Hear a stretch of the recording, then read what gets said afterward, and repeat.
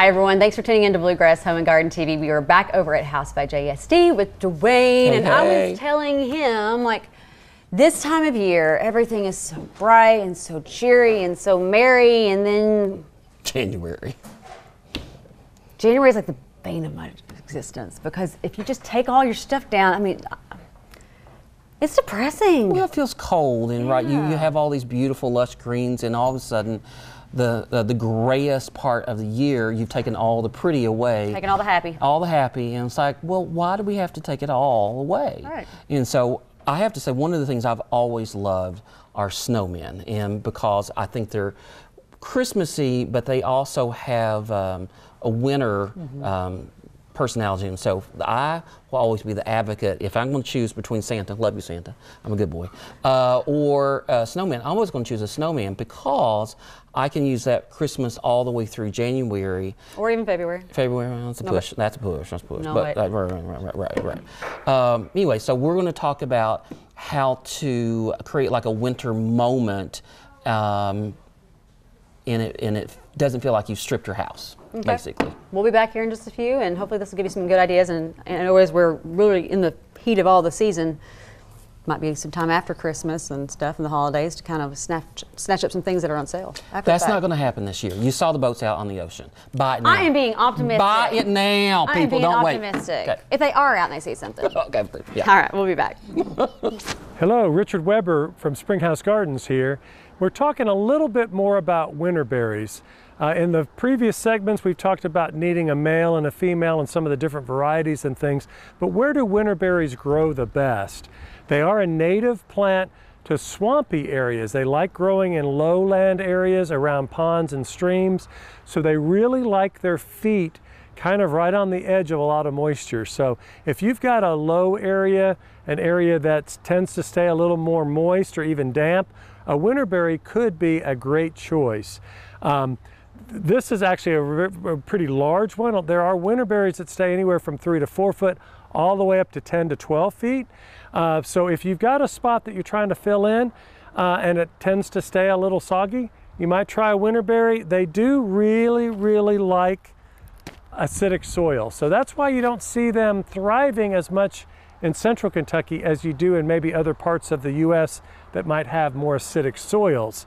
But as long as you can treat with Holly-tone, mere acid, uh, use pine, uh, any of the pine products when you're planting, and actually pine mulch or pine needle as your top dressing, you can keep these relatively happy.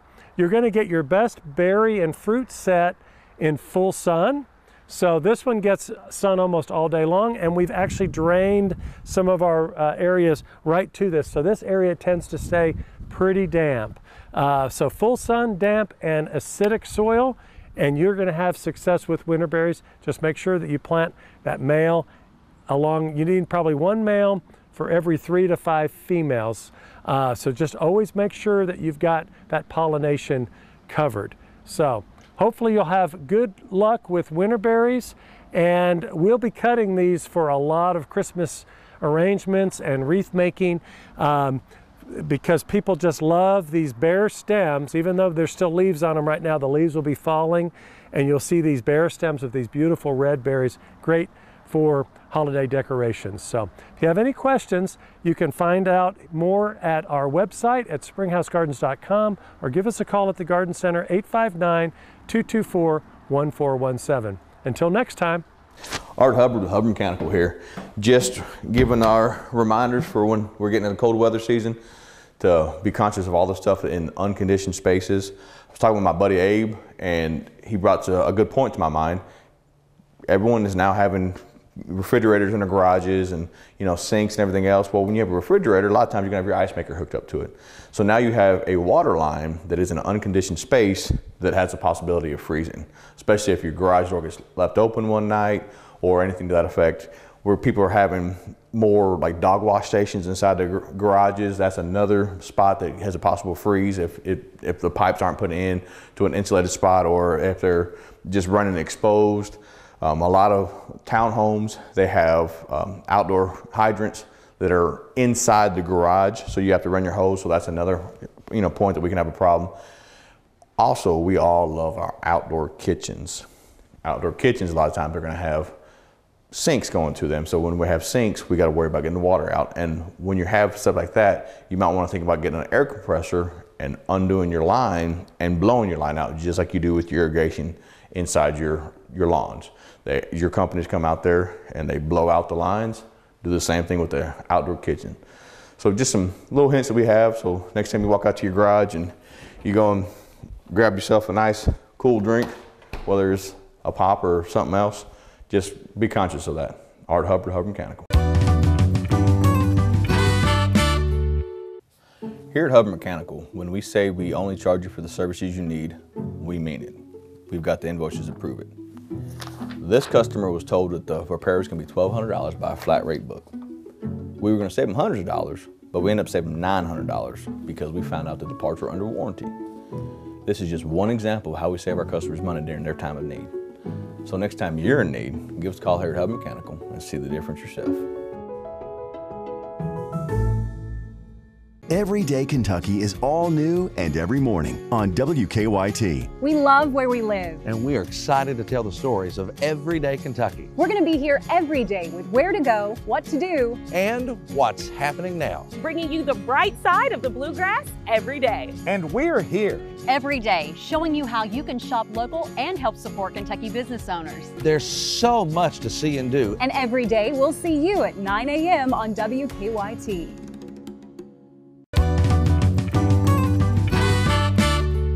We are back, and I already have glitter all over me.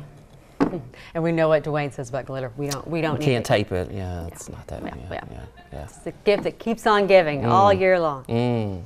All right, so what are we gonna do? Okay, so I've got these great little winter trees, and we're gonna pull them around. We're gonna stagger in front of each other and kind of pull away from each other, right? Then hey, everybody's got a good little lantern, right? We hope so. And that lantern can sit on the hearth. It can sit out on the front stoop. This time, this is gonna sit on our front foyer table. So I'm gonna open our little lantern up. Okay, got our little battery operated flicker candle, so we don't want to have to deal with burning the house down. That's Yep. a bad, bad thing. Look at that. He's going to slide over. And then we got our little tiny swag. Okay. Okay, and that's a little frosted berries and a Love little bit of greens, right? Kind of nestle him next to that for a little moment. And then we've got our, sweet little little snowman. snowman and he's kind of going to be sitting with the trees, just outside playing and thinking about it when the Cardinals. And we have created a sweet little winter moment that can go on your four-year table. And you do not feel compelled to have to like rush and pull it off because this is more winter to me. Yeah, not at all. Yeah, I mean, this no. is what I actually expect to see like in January when it Mm-hmm, hopefully does snow some. The Cardinals playing in the snow, the kids You outside it, making a it, snowman. If you do have any berries left on any of your trees at this point or bushes, they, Well, they're probably going to be crystallized. This really can be. Honestly, I think you can put this out at Christmas time, truthfully, and leave it Oh, out yeah, all the time, right? absolutely. But like this could be sitting somewhere else in the house, and this is somewhere else in the house. But you take it and you go shopping in your Mm. own house, right? Use what you already have, reinvent it, put it together in a different combination, and you haven't bought anything, right? You've used what you have, and I love that idea. All right, we're going to get some more ideas here in just a few minutes. Make sure you keep it here. Well, it has been a while since I've been able to actually be with Brittany. She's been giving all those great tips for the homeowners out there with their heating and cooling systems. But I wanted to come on today, and we're actually at one of the job sites in new construction because we've been giving a lot of tips for people who already have homes. But if they're getting to make decisions on this side as things are being built, from your perspective, like there's a lot that goes into making your home energy efficient. Mm-hmm. Obviously, the HVAC is a big part of that, but what do you advise people in the new construction or a total gut house remodel it to really consider? You want to think about insulation, Okay. spray foam versus conventional flash and batt. You want to think about windows, good quality windows. You want to think about where your equipment's going to be setting. If it's going to be sitting in a basement, the duct's going to be conditioned. That's a big one. Okay, so you talked about insulation. There's still a lot of people out there that are like, oh, your house needs to breathe, like it has lungs or something. And so they're a little leery of like the spray foam. So, Yeah, there's ventilation options that you can talk to us about if you have fears of not breathing. Um, but yeah, spray foam does get really tight, so you do want to look at ventilation. Yeah, so so but it's something you can control, right? You're not Yes. just leaking energy that you're paying to heat or cool out of your house all the time. you can control it. All right, so coming into units, there's a lot of options out there, right? Like a lot of different SEERs. What's kind of like the standard right now? I mean, I know you can go like go big or go home, but then like where for you is that sweet spot? Standards 14. Uh, that's our lowest that we use typically, but uh, 15, 16 is a good one. Okay, It'll help save. How high can they go now? The highest you can get is 26 here, but we typically stay around 20 or less. But you're still saying that sweet spot for cost and efficiency and everything is what? 15 or 16 here. You kind of kind of look at the cost versus the payoff and return on the energy side. Right. And if somebody is building a new construction and they have a lot of energy or health concerns, that's something too that should be brought up to come into play, especially with the system. All right, there's a lot of accessories that we can get to make the air cleaner, more efficient for your unit. All right, and if people have any questions, if they're out there maybe getting to build a new home or do a big major, you know, renovation, can they get can they call you? Get your Of opinion? course they can. okay. Please. All right, give her a call. Hey everyone, we have Stephanie Hubbard with us still for our Pinterest hits and misses. Easiest Super easy. fall doormat you'll ever make. Because who thought they'd be making their own doormat, right? Hey, so I you know. found these uh, literally at one of the big box stores, six dollars a piece. I got her black, I got navy because you all know I love my navies. Um, these from the Dollar Tree, dollar a piece. I always wondered like what to do with these. Yeah. So Yeah. what you do, you can use them as like a stencil. So I'm only going to do one layer because I want the blue. Mm-hmm. She's actually going to do two layers, showing how you can take pretty much any mat, Any color. yeah, and Any ugly design. It doesn't So matter. What do you choose? Orange. Just going Okay. fall orange. Okay, so then once you do that, you're going to lay down your stencil, and then Yep. what color are you going to use then? Uh, probably gonna do white. Okay. All right. Well, you get started. All right. We'll Gonna have to let going. that dry, and then I'll just go ahead and work on mine. And you don't have to do this once you lay your stencil down in the middle. You could also do towards the side if you wanted to, which, you know what? I actually might do the side. So we'll let her do that. That's probably going to take a few coats, um, Mm-hmm. or you might just not want it as bright orange, like, like crazy bright orange, which is fine. Yeah. So this is going to be a really interesting. We'll let her. Could uh, almost be like a Halloween kind of one too. If I left a little bit black on there. Yeah, yeah. Yeah. And there's even the wooden uh, pieces that they have at Hobby Lobby too that have a lot of cutouts like scary houses and witches and skeletons. You could use those too. But, but these are like so easy. Super easy. Yeah. Yeah. And just So- another little side note, you can take this same concept and make a bleached shirt. oh, cool. So I wish I had time to do that, but we don't. So TV Magical occur. We'll be back Hi, I'm Richard Weber from Springhouse Gardens. Did you know that getting your hands dirty is sometimes a good thing? Digging in the dirt has been proven to reduce stress and provide a sense of happiness and contentment. Come find your happy at Springhouse Gardens. Comfort Master came in and helped me do an assessment because it's a geothermal unit. The value that they give us is really important, and you know if that's a dollar or two higher, I'm, I'm okay with that because I know the guys are safe, I know they're well educated. Just had a great experience with Comfort Master.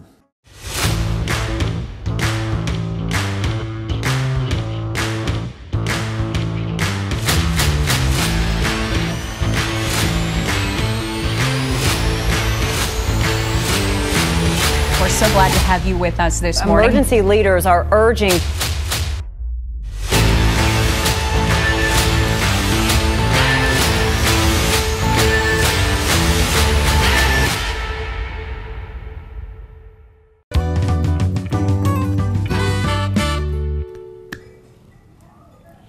Well, we are back. Do you want to tell him or should I? Uh, she cut the uh, little tails points backwards. I just, I don't know. Anyway, I don't know. so we're using his. We're using mine. Okay. This is, I mean, I, I really can do this, but talking and, yeah. Okay. And So watch, watch me, my child. Watch me. Okay, you ready? Just watch. Yes, yes, okay. We're going to put the ribbon in the palm of my hand. My thumb is there. I'm going to roll this around, and I'm going to take my hand out, and that makes that little point, okay, or little center loop. So our ribbon is backwards. So we got to twist and shout. So we're going to twist him. I think there's a child in my retail store, but might have been somebody that cut themselves. I'm not sure. And the phone's ringing, and somebody walks through the door. But we're gonna keep on going. Okay, we're It's just going. fun. It It's just- fun. just- it's just keeps it all welcome to retail. So answer the phone. so we're gonna twist and shout. Twist and shout. We're gonna start that. over. Yeah. Okay. It's just too much. It's just too much. Well, Philip with Glass Doctor is with us. It's been a little while and he did not warn me we were going to be outside today, so I might be a little cold looking because I am.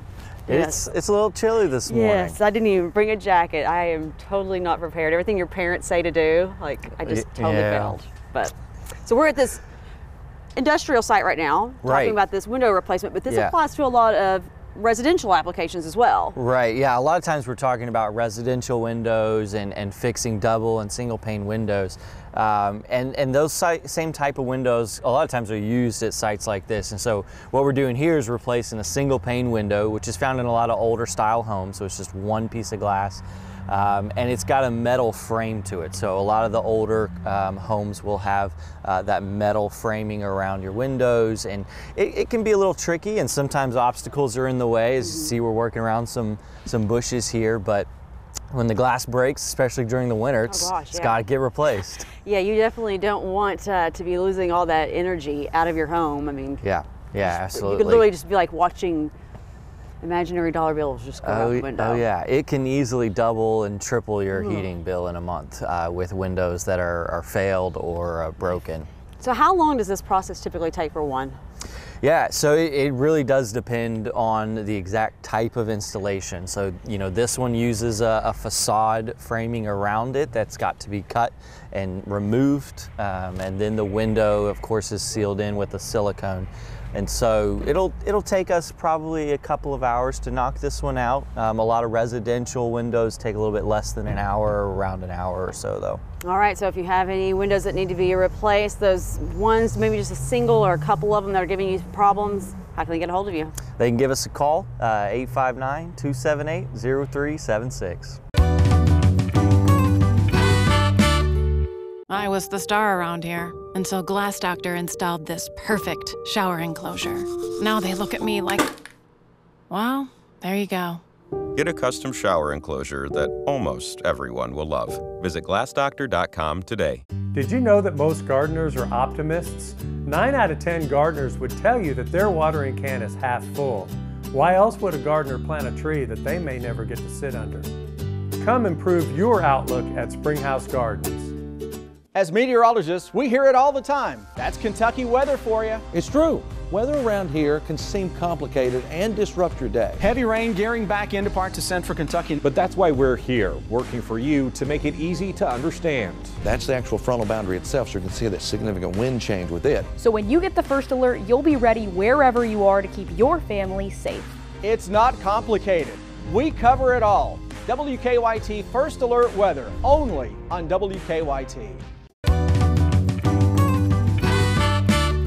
All right, so we are back. He has went ahead and trimmed a bunch of this stuff. And I will say now, on some of this stuff, you have to have some really good cutters. You complained that the hard a while back that I had really stinky scissors, but I got some good wire cutters, I'm telling you. Well, Okay. I'm just saying the tools that I was given for that project were not suffi- sufficient. Okay, fine. We'll go along with that. So, We really do love each other. We really do. I No, mean, it's I, I know right. people out there think that you just pick on me like horribly, but we actually well, really do love each other. I'm going to make it very clear.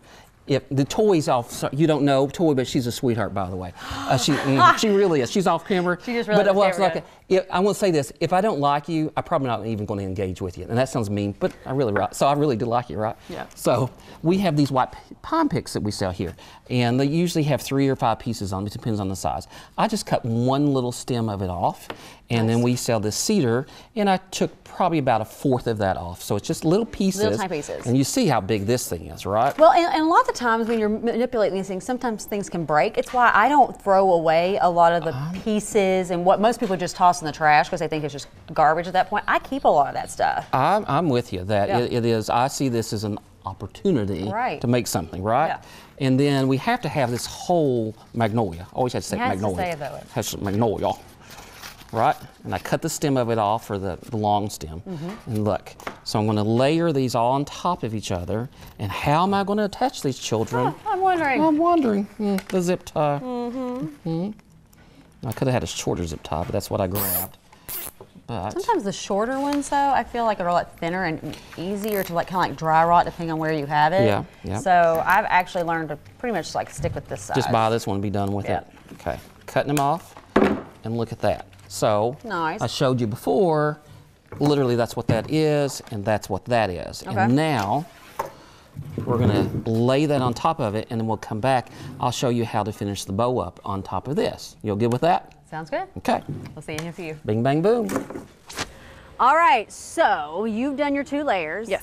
We did not wait for your first layer to Did not. dry very much at all, and we just put that down there because we figured it'll just transfer onto the stencil. So yeah, not a big deal. No. And then I've done mine. So again, we've never done this. Never. The Pinterest pin made it look like it was crazy, crazy easy. It's going to be amazing. I know it. So, It and just you is. did your centered. I did mine a little bit more um, off the side. So now it's just let's lift them up and see how it goes. All right. Ah! Oh, that's so cool. Yeah, it came out really cute. I like that. I'm totally digging that. That's really cute. It took all of like 30 seconds. Really Yeah. didn't take long to do this at all. That's cute. I really like it. The one thing I know I mentioned to you and me too, like you got to make sure like in those little sections little- you get enough of that contrast paint. Yep. And again, I am not an expert in all things spray paint. I would definitely go back with like a clear coat or something just to make sure um, you don't get any transfer with it being outdoors especially. So, Yeah. and let it dry really, Really good. really, really, really well. Oh, if you didn't. This is a Pinterest win, I think. I think so. Yeah. This is easy and so fun. Yeah. And, and if you had other stencils, you could of course, you know, do more or take it and have maybe one like coming off like the corner. Yeah. So it doesn't just have to be this. So Yeah. just take this kind of concept and uh, Roll run with with it. And again, you can take the same idea, Yeah.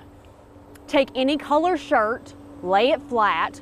You want to put some plastic, yeah. uh, you know, parchment paper or something in between it so it doesn't transfer through. Transfer through, Then you can take a, just a spray bottle with some uh, bleach water, spray it. That's going to do the same type Same of effect. thing. So you see it Fun. everywhere.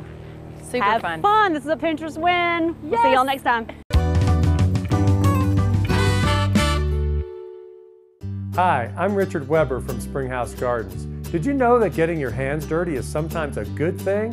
Digging in the dirt has been proven to reduce stress and provide a sense of happiness and contentment. Come find your happy at Springhouse Gardens.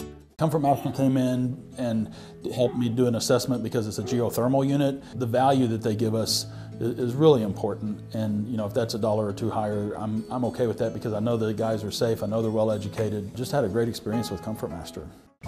At Glass Doctor, our trained specialists are experts at fixing foggy and cracked glass. Looks great. You're all set. What we can't fix is your view. Baby loves you. I gotta get some curtains. Get ready, get set, go. And the morning race is on. Making breakfast, getting the kids dressed, getting yourself dressed, and out the door. Mornings can be rough. But don't worry, we'll get you ready as you get ready, catching you up on what's going on. Lexington city leaders are moving forward with plans to Giving you the first alert of changing weather. There's a frontal boundary that's making its way into the area. Start your day with Victor, Kristen, Andrea, and Jim on WKYT Mornings. Weekdays from 4:30 to 7. Everyday Kentucky, weekdays at 9 a.m. on WKYT.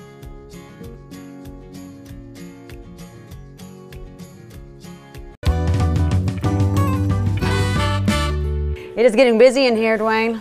Love it. I, I cannot end the year feeling like a failure with making bows. So stop, no, stop. so you no. did, you did it, you did it. Okay, so I'm going to show you how to make this one. You don't Oh, have to wait, make so a bow. it's, it's a different one. It's a different, and it's easy actually. So about a yard of ribbon. Okay. Okay, I'm going to lift our little uh, birch sticks up with our little swag that we made, and I'm just going to tie this around it, and that's going to cover all that do up. Right? Well, you are. You can do this, I can right? do that. So look, that leaves that. Okay, and then all I'm doing is leaving some more of a tail, making a loop. Okay. Making a loop. Will you hold that for me, mm-hmm. please? And I'll cut her excess off. Okay, now look at this, kids. Okay, laying that on top of that. And then tying that. And it tie, that's it. You're not even That's really. my top of bow. That's how you tie That a is bow. my type of bow. Yeah. Look at that. And then we fluff this up, and you've got a really, really good looking um, swag. Yeah. That one's easy because it's only got two loops. I like it. All right. You do this one. You can do I, this I one. can do that one. Yeah. All right. We'll be back here in just a few. Thank you. Hey, Richard Weber here from Springhouse Gardens. While we're talking about pines, when you're looking at one, you might be wondering what the term semi-sheared means. Semi-sheared means that it's been trimmed lightly to thicken it up. Otherwise, this would be a much more see-through pine. So you're paying a bit more for a semi-sheared white pine than just a natural white pine. Because if it's natural, it's going to have all this space in between. You're going to see right through it. So when you're dealing with a semi-sheared like this is, you might be wondering why all these needles are getting stuck in here. And it's because they just really, it's so thick that the needles can't drop naturally to the ground. But this also is another reason why I love planting pine trees because of the self uh, mulching nature of a pine. So all of this needle that we're clearing out here just to try to make the trees look more appealing makes a, a, fantastic mulch if you just let it drop to the ground naturally. And once these get bigger, they're going to open up, the needles are going to fall and naturally cover the ground, and it makes the best mulch, my favorite mulch. And we even sell these by the bale, uh, not white pine needles, but the long needles uh, from some of the southern pines. But these will be beautiful in my flower beds and other plants uh, that like acidity really appreciate this type of mulch. So if you have any questions, you can give us a call here at Springhouse Gardens, 859-224-1417 in our garden center or 859-224-0033 in the landscape office. So we're almost out of time, but what he is doing right now is probably key to it all. It's just taking some time and actually shaping everything. I mean, he mm-hmm. is like methodically like shaping this. You know, I always have this visual in my mind of how, you know, how that ribbon kind of flows. I always have this, it's a bird that's flying through the sky and there's Oh, a little piece of oh, that. And I always have that vision and that helps me kind of give it that little flow to it. And funny whatever sticks in your head. Yeah, Yeah. I like that. That's really pretty. But, it, it- but it's quality ingredients too. I mean, the better the you know the ingredients that you would put into a recipe, the same thing. This is the recipe. Well, it looks real, yeah, you got Right. quality. And I have, I love this ribbon. This is traditional, but it's got that touch of blue in it, which is so. Well, it's a uh, tartan, right? Is that yeah, what they call it? yeah, but, but people wear that all throughout the winter, Mhm, so it's mhm. not like you can't utilize this no, going under the holidays. This, this, this is forever. all right, Love so website. House by JSD.com. A lot of the stuff is on our website that you can buy, or we've got our retail store, and it's 1148 Industry Road. All right, we will see you next time. Happy holidays.